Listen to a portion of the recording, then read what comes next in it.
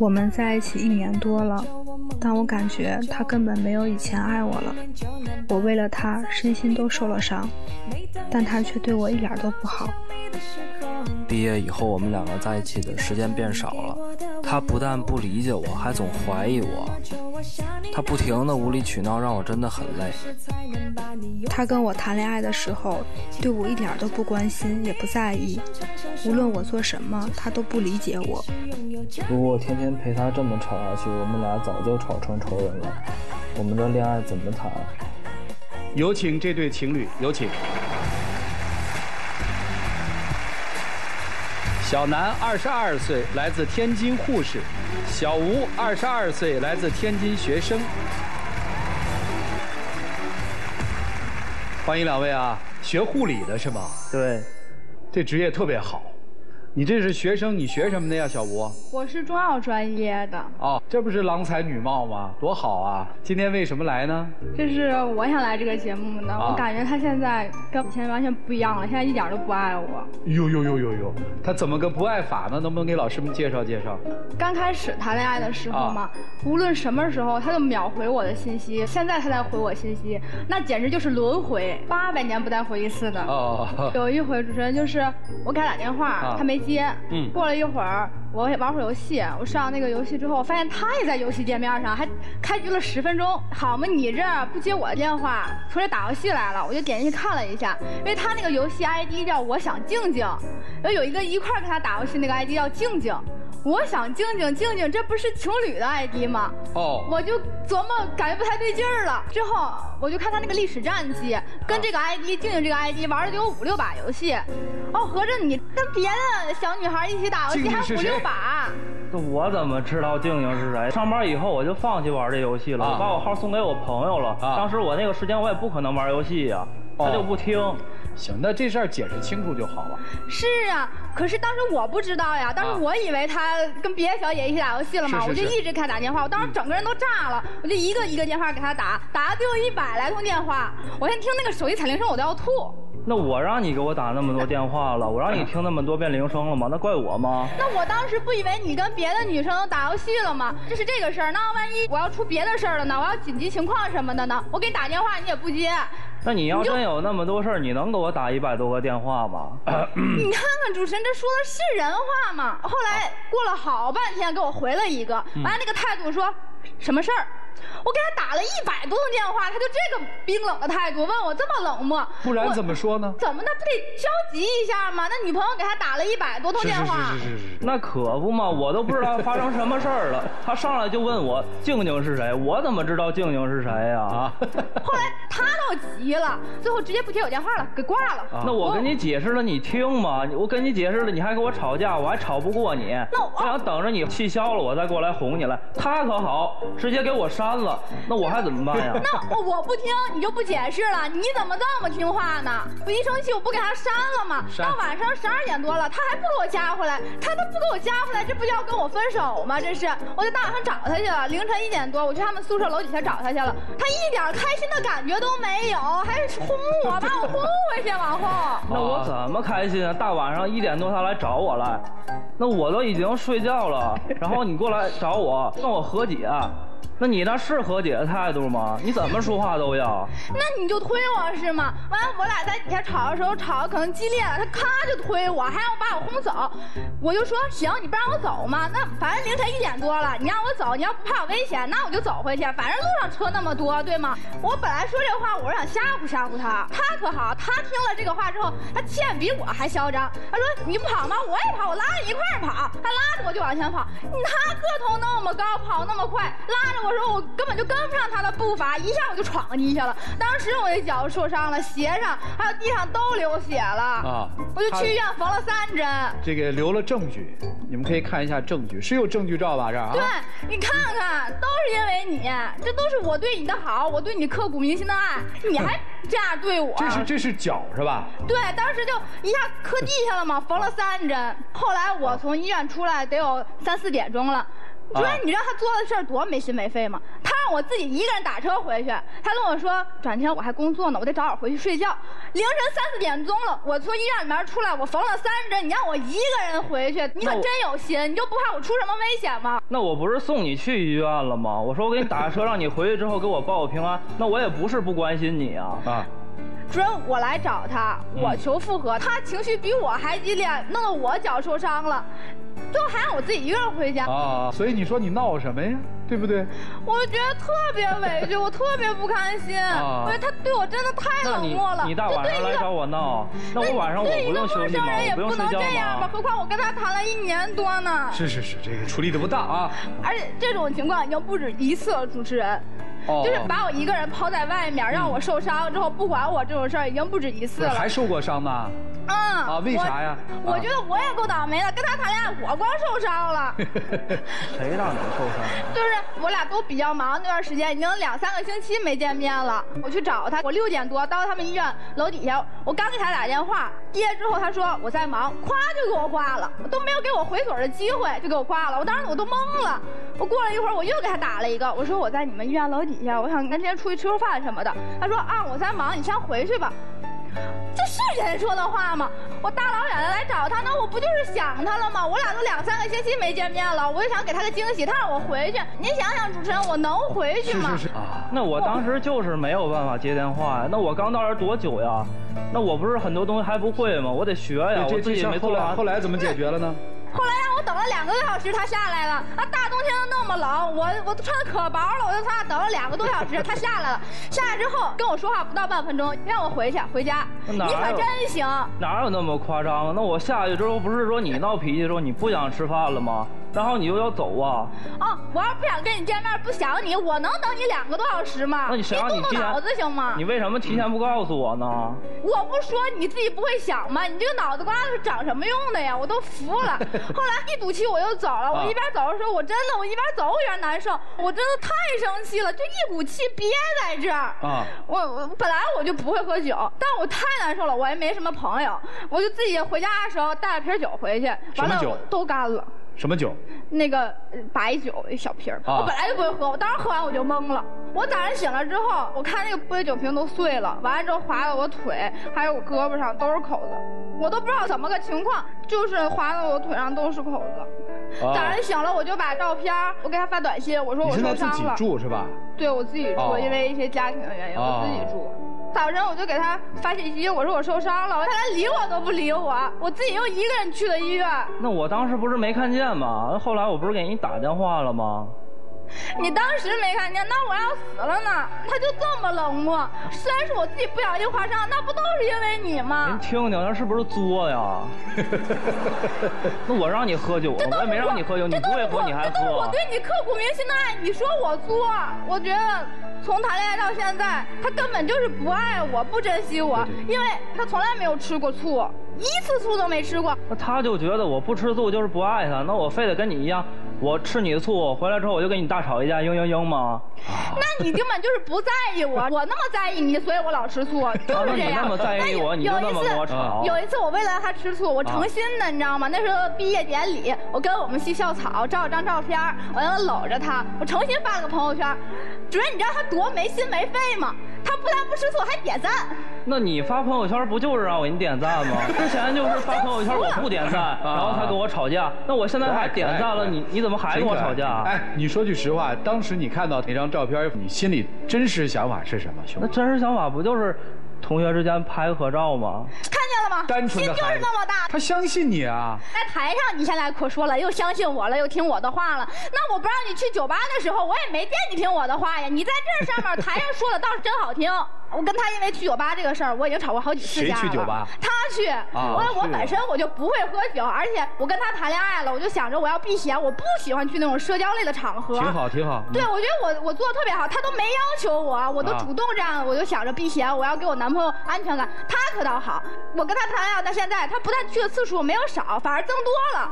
那我自己也有自己的空间呀，你不喜欢去，那你就不让我去啊？年轻人嘛，谁不想自己要点空间呀？明白了，你有爱好吗？别老说他。我有爱好。你爱好什么呀？我我就那么一点点的爱好，他都不配合我。你什么爱好？我就是喜欢跳跳舞。啊。我之前看那个抖音上的小主播姐什么的，我也会跳舞。我想我也开个直播，但是我跟他谈恋爱，我又不想让别的男生看我跳舞什么的，我就开了个抖音号，我让他看我呀，我就当主播之后让他他。不是，那不是大家都可以看吗？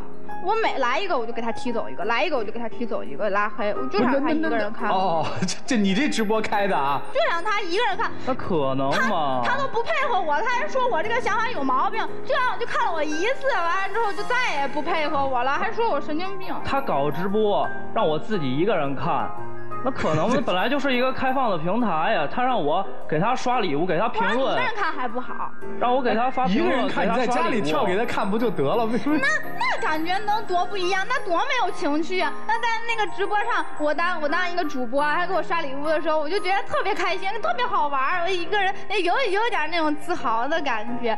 他都不配合，我就那么点好玩的东西都不配合我，还觉得我有毛病。那不跟过家家似的吗？不是幼不幼稚呀？发给谁看呢？就发给你看。那我发给他看。就发给我一个看，完了我截我截图，我发个朋友圈啥的。那你想要什么礼物，我直接给你买不就行了吗？那能一样吗？我是想要礼物吗。你懂什么呀？一点情绪都没有。那你要喜欢你就播呗，那反正你也火不了，有什么呀？主任，你看看他说话，不是他，我也火不了啊。万一他火了呢？我感觉他火不了，万一火了呢？火了就火了呗。哎，软了，害怕了。哎，你看看，说明你方法不对。他就这样。行，我就听明白，姑娘有点任性。这个两个人谈了几年了？啊，谈了一年多了。才一年多呀？你未来就想嫁给他吗？那当然想了。啊，你想娶她吗？那之前是挺想，后来我就觉得跟他在一块太累了，他做那些事我都没有办法理解啊。就是现在我俩现在状态就是，他连吵都不跟我吵，都不搭理我。我现在跟他吵架，我就跟他妈说。你跟他妈关系好啊？嗯。那我吵架我也吵不过你呀。每次我有什么生气的事儿了，我有不开心的，我就跟阿姨说。说阿姨每回都向着我，都批评他嘛。我就觉得我跟阿姨跟亲母女一样。哦呦呦呦。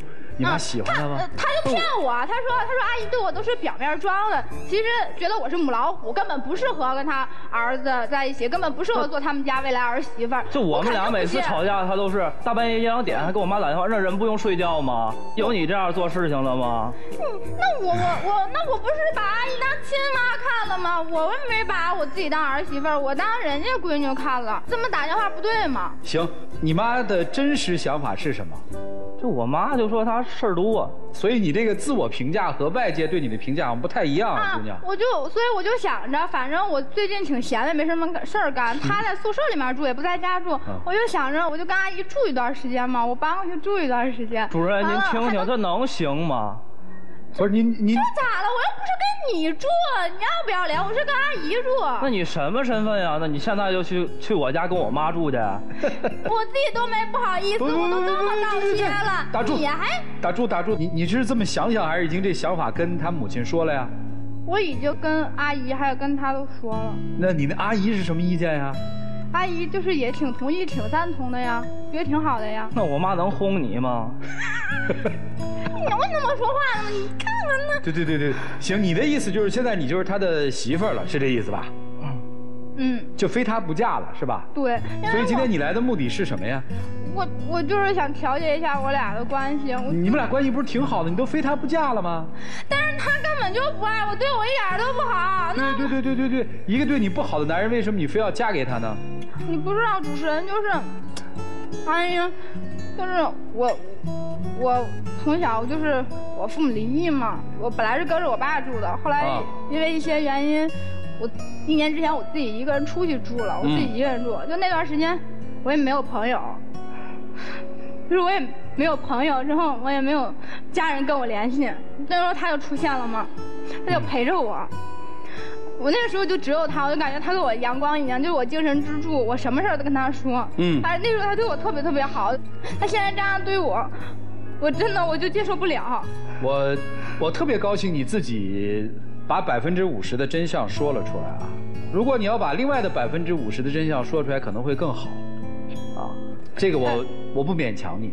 如果大家觉得这个姑娘刚才的所有表现是特别奇怪的话，那么这个姑娘刚才讲的这一段话，你就不会觉得奇怪了。姑娘向我描述了一个单亲家庭一直跟着父亲成长起来的一个姑娘，在一年前因为某些原因，姑娘自己住了，她没有什么朋友，也没有什么家人愿意关心她。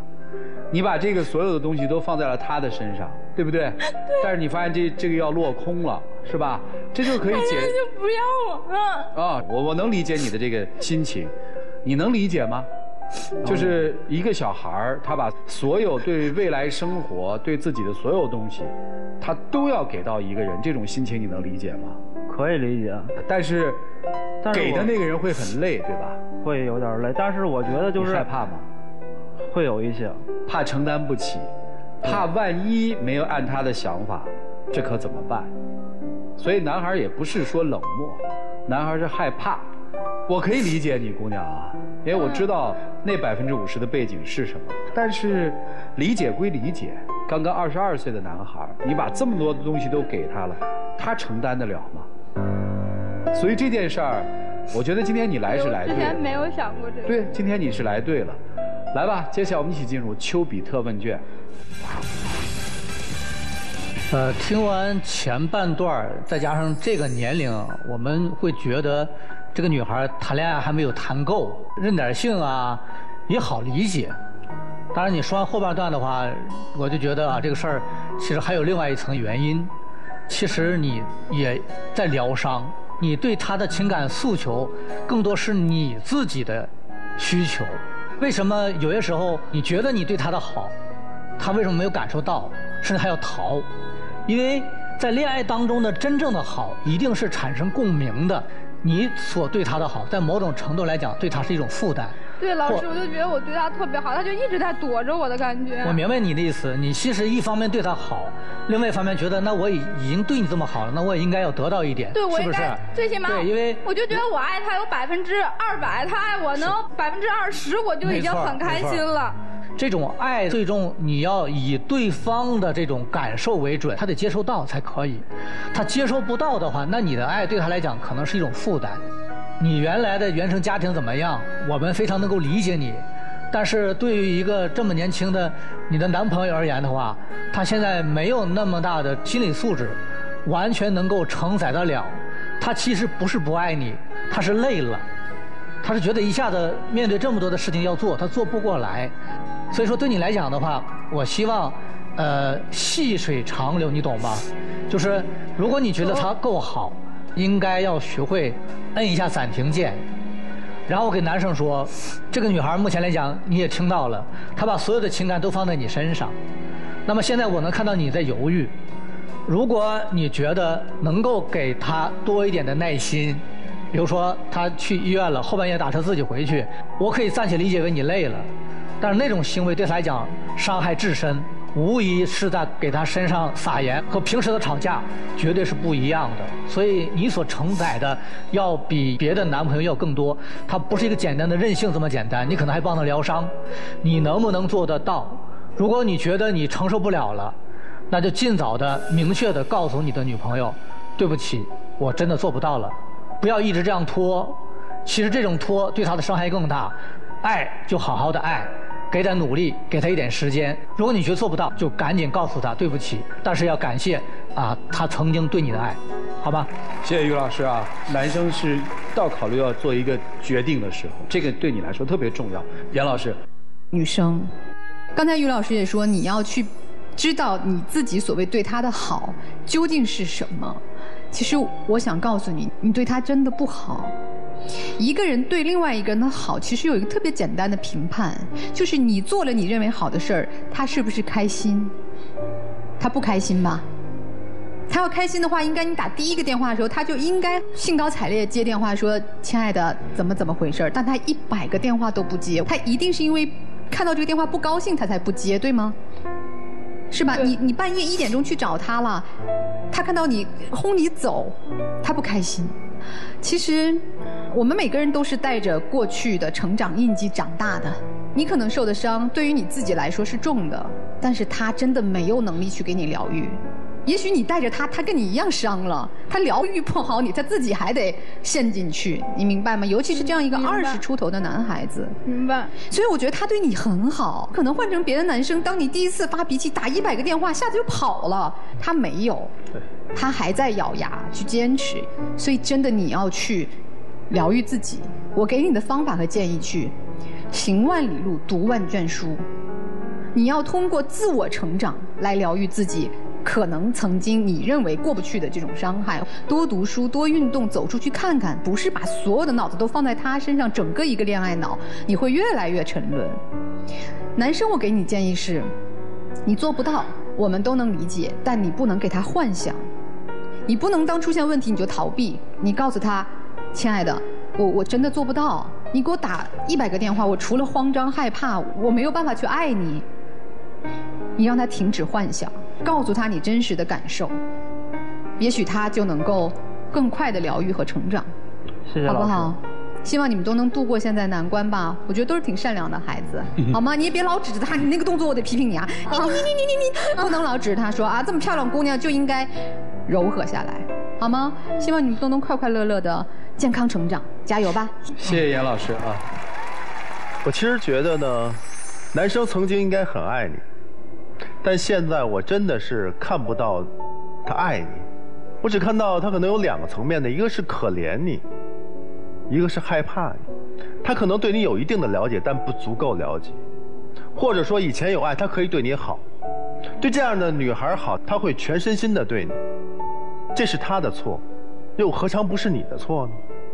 你为什么之前能这么对他？不知道是什么事情让你改变了？你也没说，你在这个舞台上话很少，但恰恰这种冷淡是伤害了他。你让一个脚受伤的，他就是你的朋友，他不是你恋人，他是你朋友，你也不应该让他自己回家吗？一百个电话是有点过分，但你不急去说到底背后出现了什么样的事情吗？你怎么那么冷淡的说我在忙？种种这种冷，我不知道这是你的无奈，还是你在害怕。你越这么冷淡，他越慌张，越慌他越做出一些自己不能控制的事情。你到底爱这个女孩吗？爱呀，真的爱吗？没有哪个男人，如果爱一个女人的话，这个女人发生了这么多极端的事情，你居然是这么冷漠的处置。真如果爱这个女孩，你可以继续；如果不爱，跟她说清楚，好不好？女生啊。不要给自己找借口，好像你是蛮缺爱的，对吗？但为什么缺？是因为你自己不主动的去找啊。你的直播间为什么只能有他一个人呢？很多欣赏你的人都希望能了解你，但是你不给他们机会。对，我就想让他一个人。你的现状是你自己造成的，不要怪上一辈，也不要怪这一辈。你不自己看重自己，没有人看重你。交往，恋爱。都是要有分寸的，你这个把握的太不好了。深夜里头你去打电话骚扰他的母亲，合适吗？太没有社交礼仪的这种尺度了吧。所以说，先爱好自己，让自己有充足的社交圈子。你的世界里不可能只有一个人，你的世界里要容纳下所有的事物，包括好的、不好的。然后这样真正的是爱自己，不要做过度的事情。好不好？丰富自己的生活，让自己变得越独立，自己就会越美丽。就这样，好，谢谢曲总。姑娘，我特别理解你内心中的那种渴望，因为我也有同样的经历。就像你对男孩，他对你不理不问，对吧？不管不顾，但是你仍旧对他一往情深。对。你找他妈妈一起住，我觉得你就像一个需要呵护的一个卵，想要找一个窝。能够温暖你，但是，其实我也一样。我小的时候呢，我父母是两边家里夫妻的一个典范，但是后来他们冷战了八年，最后又分开。然后我妈妈天天以泪洗面，后来还生了这么大的肿瘤。就我天天陪着她，最后高考准备时间都没有时间，就是陪着她哭，陪着她聊，帮她去开胃。后来我发现我自己的心里。受了很大的伤，因为我觉得这个世界上美好不存在了，永恒不存在了，任何真实都太虚幻，所以我有一度缺乏安全感到什么程度？就是我晚上睡觉的时候，不是不敢一个人睡，我就觉得太寂寞，我我恨不得买一个假人抱着他睡。我也有这种感觉，老师。就是这种感觉，但是我们的伤只能我们自己来去疗愈，你知道吗？我后来想我怎么办？啊，我曾经用过不正常的方法，就是去搞各种极限运动，就是让自己明白，生命还是有意义的。那后来呢？我觉得不能这样下去了，我把我自己的这种爱呢，释放给对别人的付出。比如说拼命做事业，带着一帮人去打江山；比如说带着我们的高管去旅游的时候，我帮他们一个一个的去设计路线。那我觉得我把付出的这种爱从他们身上得到了返回的爱。你不一定要在一棵绳上吊死吧？你像一个花一样，你需要太阳，对吧？你或者需要在你下面的一个土壤去滋润，而它是一个石头，他自己不懂得，其实稍微给你一点点，你就可以灿烂了。对吧？你把抖音上其他男人都删了，就是求他多看看你。其实每天看一看又怎么样呢？但是他不是那个能温暖你的人，并不是他不好，我也很理解他。说实在的，你刚上来的时候，没有说你父母的时候，我是什么状态？你在里面聒噪的不行的时候，我就想拿一个封条把你嘴封上，我就受不了。我能理解他的那种痛，他紧皱的眉头，而你一直拿手去指，我数了数二十多次。是一个打手老是那么指我，我恨不得把你打下来。然后你不断的对他的那种索取，可能我遇见这样的人，我也会赶快跑掉，因为我的心受不了。他说了一句话，我特别懂，叫“太累了”。是，这就是他的心声。我要是看到那个情况，我也想静静。你理解吗？理。所以你们两个要想清楚。到底是不是合适？还到底愿不愿意为了对方去付出，再走下去？我的建议，用你的力量来改变你的心理。好，谢谢李总。谢谢。我问个细节啊，你说一年前离开家的时候，那个时候你们恋爱了吗？呃，刚开始。刚开始。你知道，对于所有理性的父母来说，一有娃，他们就想了一件特别理性的事儿，这件事儿就叫离开，就是我养孩子养大了，就是为了跟他分离，不是为了跟他黏糊在一起，不管是心理上的还是物理距离上的。从物理距离来说，父母比你走得早，大概是常态；你比父母走得早，那是非常态。理解我说这话的意思吗？理解哈。你一直说你自己没朋友，为什么这么漂亮一姑娘没朋友呢？我是那种，就是我不是特别喜欢社交，喜欢跳舞是吧？嗯。所以跳跳舞、做做直播挺适合你的，那不需要社交啊。你需要找一个能够陪伴你的，不是人，是一件事儿。你是开直播也好，去跳舞也好，是读书也好，去旅行也好，你现在真的需要这个，你得。找一个自己的兴趣爱好，让你从孤独当中走出来。一年前那件事情，其实我相信对你来说是场噩梦，嗯现在还没醒，但是你总得醒啊，你得接受这个事实啊。如果它没有发生的话，我相信不会有人会让你在半夜一点多钟去找你的男朋友。如果它没有发生的话，我相信不会你自己一个人喝酒就喝到懵，然后开始伤到自己，对吧？你爹肯定是不愿意见到这一幕，所以对你来说非常简单，不要躲避了。你现在就是需要一个人面对自己的孤独的时候，你就得走出来啊，学会孤独。现在不适合谈恋爱，不适合把自己的手交到任何一个男人的手里。一段恋爱如果把两个年轻人谈的这么阴郁的话，那还叫爱情吗？一起进入真情六十秒。宝宝就是，我可能就是我真的太爱你了，所以就是给你的爱就感觉很沉重。我也没有想过你能不能承担得了，但是我会改的。就像老师说的，我以后不会把所有的问题都加在你身上。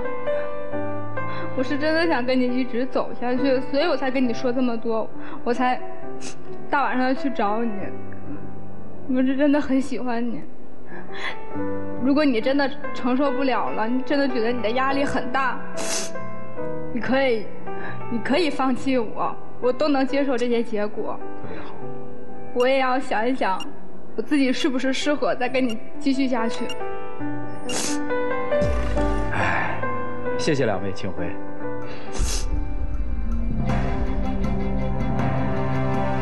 来，请关门。这观众看的肯定就就说你们干嘛这样啊？你们干嘛这样？其实因为女生遭遇的这段经历，在女生来说是一个特别大的一个应激事件，伤的也很深，所以我们也不愿意在这个现场去揭开它啊。这个事儿，有生活阅历的朋友应该想到是什么了，就是一个姑娘在这个世界上变成了一个孤独一人嘛。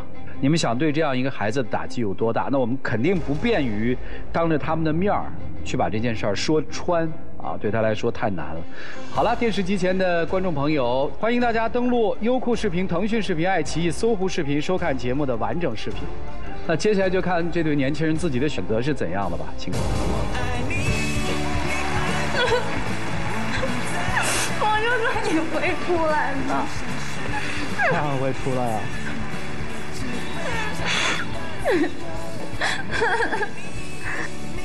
两位年轻人加油吧！用爱的力量牵着对方的手，一直往前走。下面我们一起见证属于这对年轻朋友的浪漫。